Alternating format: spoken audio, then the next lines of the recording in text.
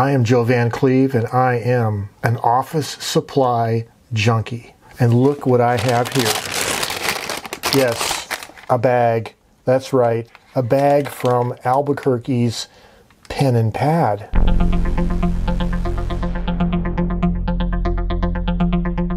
I hope you are staying well. I'm fine here.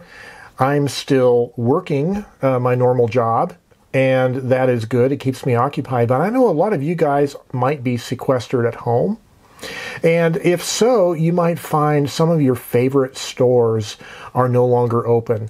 Well, in Albuquerque, one of my favorite stores is Pen and Pad, pens and stationery and whatnot.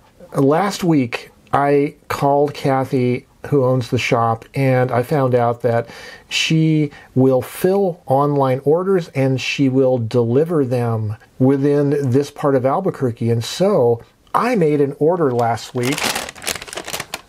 And it's in this bag, and she dropped it off on my front porch. And I'm so grateful for her for doing that because I get to enjoy buying my favorite inks and pens and whatnot, supporting a local business while still staying safe. Well, I've been using a number of pens over the years, uh, and especially fountain pens. I do love them. And I have a box here of some of my favorite pens. And one of the pens I'm currently using in terms of fountain pens is a very humble blue Lamy Safari. And I'm currently using a converter in this, and it's almost empty. And my favorite ink that I've been using over the last almost 10 years, I've got to say, is Parker Quink in the blue black color. That has been my favorite ink. But you know, there are so many inks out there nowadays in the world of fountain pens. Look at that though. That is getting down there toward the bottom. Now, I started this bottle in um, April 27th of 2016. That was four years ago I started this bottle. And it's getting down there toward empty. And I thought to myself, I might want to try another brand of ink. And a few, about a month ago, maybe three weeks ago, right before the lockdown, myself and Ethan, we went up to Santa Fe to uh, visit a pen show. And I was uh, not really aware of some of the Japanese fountain pen inks, but I did become aware of them after that show. And I decided maybe I could order some bluish black fountain pen ink, Japanese ink from pen and pad. So without any further ado, let's open this bag up and see what I got. All right, let's take a look. Yes, the first thing we have is Pilot's Iroshizuku, and this is the Shinkai color of ink. And so I have not opened this box yet. I'm really excited about it to try it out. So let's open the box here like we have to uh, pull the little cardboard holder out of the way. Ah, yes. There that is. So just a little bit of the detail. There's a nice little drawstring around the, the lid. And then I was noticing on the bottom here, made in Japan, nice little label. And you might notice in the profile of this bottle, there's a little depression in the molding of the glass in the bottom for dipping your nib in so you can get the very last remnants of the ink out of the bottle. That apparently is what that is for. Well, I'm looking forward to trying this out. And now let's see though. We have something else in the bag though first.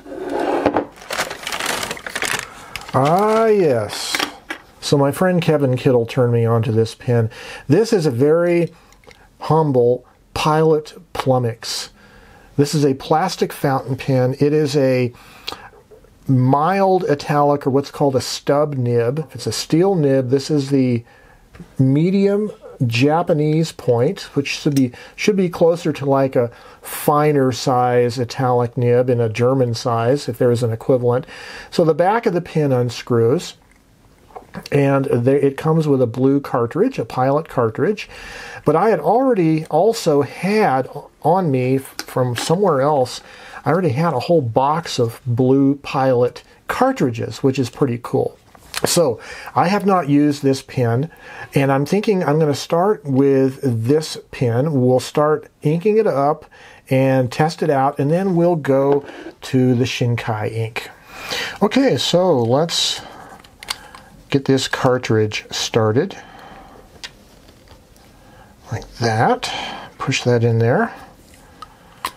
Screw that down there. And I don't know how easy these will be to start, but I have some Clairefontaine Triumph letter writing paper. And as all of you fountain pen aficionados should know, um, Clairefontaine, uh, being French made, they're really well known for the um, quality of their writing surface for use with fountain pens. So I've dipped the nib into some of this Shinkai ink just to get it started. Hopefully we can get some of the capillary action going. Get the uh, actual cartridge flowing so we get the right color of ink here, the actual cartridge color. Looks like it's already flowing, from what I can tell. Okay, so this is a stub nib. Stub italic. Which is very nice writing, actually. Especially on this Clairefontaine paper. What I like about this stub italic is it's not such an exaggerated italic. Uh, sometimes on the exaggerated italic nibs, you really only feel like using it for calligraphy because the thin thick difference is so exaggerated. But this particular nib is just very subtly thin and thick, very subtly italic, I would say. And I really think this is going to be a really nice, inexpensive pen for writing with, for jotting and writing. And I'm hoping because of the way the plastic lid screws on and the body screws together. I'm hoping it won't leak, of course, and I'm hoping it's just going to be a great nib for also a great pen for, for sketching and drawing. Uh, that's really one of the other attributes of this type of pen, I think, is for the uh, use in a sketchbook. Look at that. Isn't that cool? Oh, yeah. Now, of course, my handwriting is not the best, and I always have to write rather slow and methodical to make it legible, which is one of the reasons why I like typewriters so well. But this particular nib makes it really easy to have a nice looking hand just because of the line it makes.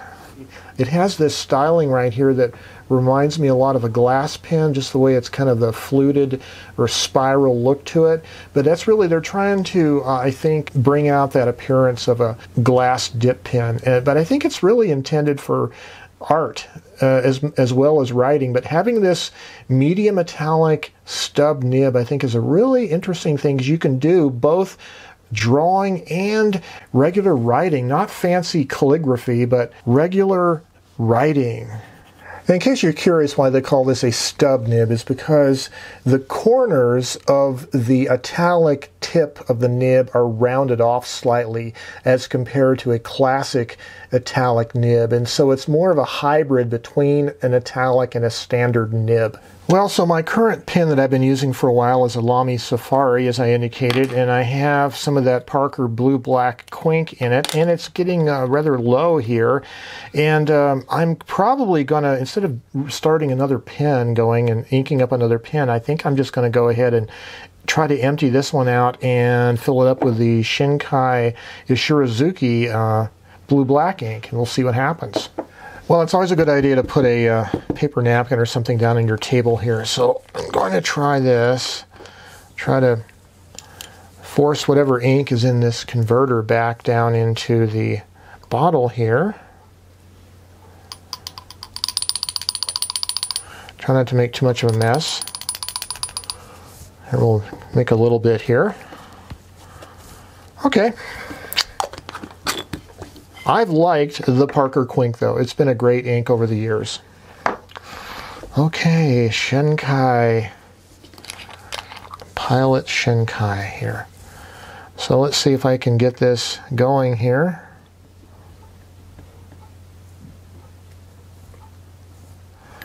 Oh yes.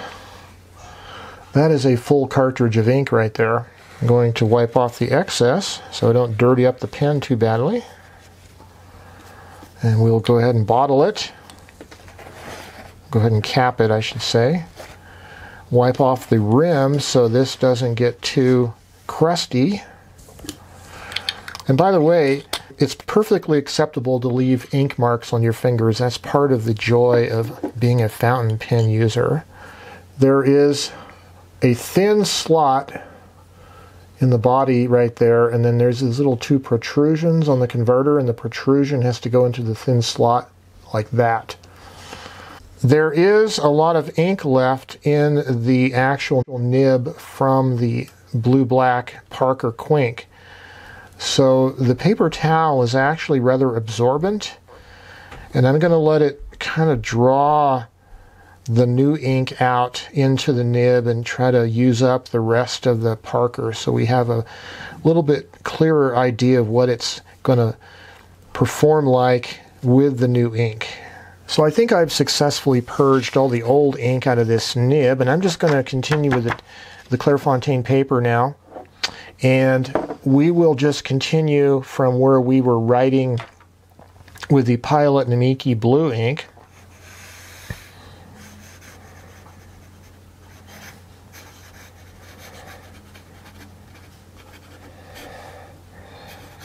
So this is the Shinkai Pilot Blue Black.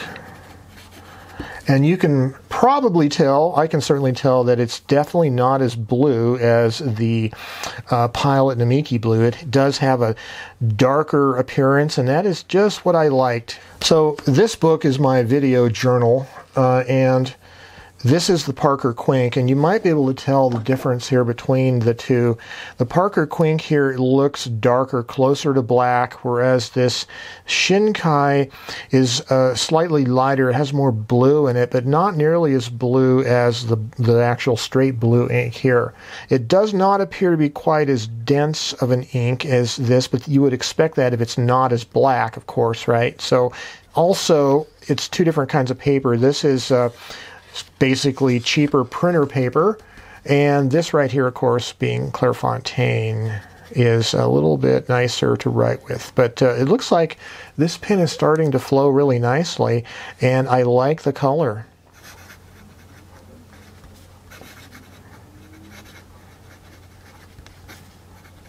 And I've always been very pleased with the quality of a Lamy Safari pen for being as inexpensive as they are and very utilitarian, a steel nib. They write so well. They're just a very reliable pen.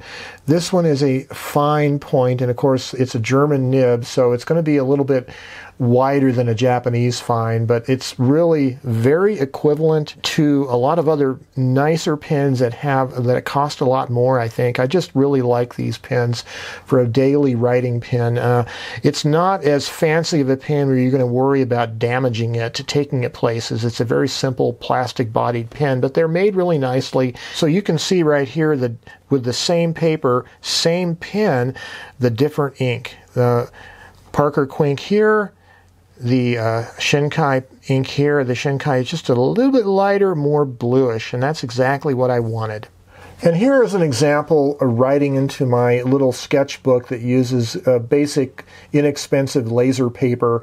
And this up here is with Pilot G2 gel cartridge, and this here is the Plumix with the stub nib using the blue uh, Namiki ink. And here is the Pilot Namiki uh, Shinkai in the Lamy Safari, you can see the difference in color between the two inks, between the blue and this blacker blue right here. Again, standard inexpensive laser paper. And the reverse side of the same page, there's no bleeding, no, no bleed through at all on any of those kinds of inks. So one of the other reasons why I'm looking forward to using up this little staple bound sketchbook is because waiting in the wings is my fancy 100 page stitch bound journal book that I made with Ethan and using a higher quality paper, nicely trimmed. I was really proud of making this book myself, and I'm looking forward to starting to use it with fountain pens. Well, as an office supply junkie, I really find a local custom pen and stationery store to be a really valuable resource in my community. It means so much to me to be able to go in, look at things in person, try things out, and have the expertise of the shop owner helping me make a decision it really is. I, I enjoy touching, handling, and writing with things uh, in person rather than just shopping online. And so, in this challenging time uh, during the coronavirus epidemic, I really found it very pleasing to be able to support my local shop and order online and have her deliver it to my house. And that was really important to me, I thought. And I think it's going to be important going forward to support these local businesses as the economy hopefully recovers. But I'm enjoying the idea of having a new bottle of ink to try. And you know what? There's so many kinds of inks out there these days. You'd have to ink up an awful lot of fountain pens to try them all, which means you'd be doing an awful lot of cleaning of fountain pens if you don't don't do a lot of writing. But anyways, so I have this new Shinkai ink to ink up in my Lamy Safari or whatever pen I'm using. And of course, the Pilot Plumix with the blue Namiki ink. This is going to be a fun uh, pen to try. You guys, stay well, stay healthy, stay creative.